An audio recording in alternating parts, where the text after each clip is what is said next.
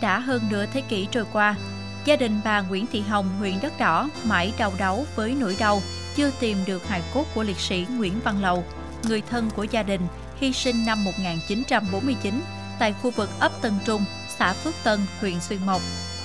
Thế nên, khi hay tin trong lần quy tập hài cốt liệt sĩ lần này có người thân của mình, gia đình bà Hồng không khỏi xúc động nghẹn ngào. Hài cốt liệt sĩ Lầu đã được đưa về đất mẹ, yên nghỉ cùng hàng ngàn đồng đội khác tại Nghĩa trang liệt sĩ liên huyện Long Điền Đất Đỏ, trong niềm hạnh phúc của bao người. Mấy chục năm nay tìm là tìm không có được, đi cũng có tìm quá rồi không có được, bây giờ cũng như tìm được rồi, có cảm xúc là cũng như, như mừng lắm rồi, cảm ơn.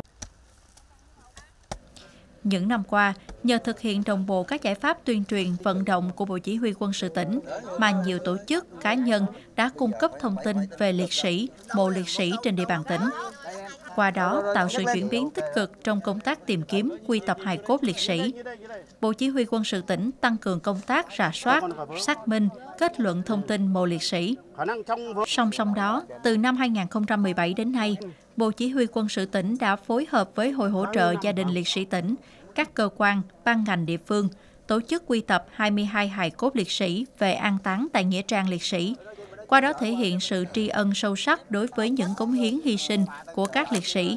đáp ứng nguyện vọng của thân nhân, gia đình những liệt sĩ đã hy sinh máu xương vì Tổ quốc. Hội cũng thấy rằng là mình phải có trách nhiệm và tiếp tục cùng với đảng chính quyền địa phương để làm tốt công tác à, chiên liệt sĩ. Trong đó có cái nhiệm vụ là quy tập hải cốt liệt sĩ để mà Ờ, đưa các ờ, đồng chí liệt sĩ để các anh hy sinh trong hai cuộc kháng chiến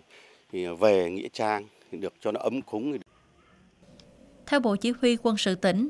trên địa bàn tỉnh còn khoảng 100 trường hợp mộ liệt sĩ chưa được tìm kiếm, quy tập, chủ yếu liệt sĩ hy sinh trong kháng chiến chống Mỹ. Tuy nhiên, việc xác định chính xác vị trí còn hài cốt liệt sĩ gặp nhiều khó khăn do địa hình thay đổi và các nhân chứng biết về mộ không còn. Nếu còn thì tuổi đã cao, trí nhớ không còn tốt. Do đó đòi hỏi lực lượng vũ trang tỉnh phải đẩy mạnh hơn nữa công tác tìm kiếm, quy tập hài cốt liệt sĩ.